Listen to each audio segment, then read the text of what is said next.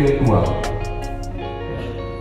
Begitu juga di surat Al-Baqarah ayat 161 ternyata jabatan dan harta kekayaan itu tidak membuat mereka bahagia.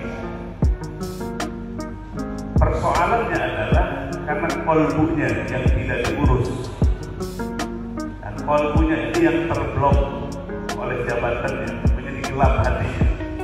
Itulah sumber kegelisahan. Mudah-mudahan jurusan prioritas saud dan psikoterapi ini bisa mencerdaskan dan membukakan kolbu umat ini.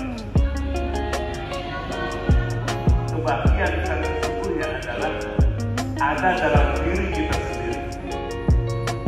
Nah, maka di sinilah pentingnya yang paling esensial dalam diri kita. Mungkin tasawuf itu adalah yang paling esensial